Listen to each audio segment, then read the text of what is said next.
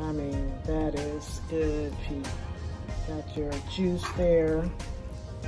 They used to call it pot liquor when I was growing up. I guess that's what they still call it. I call it juice. but there it is.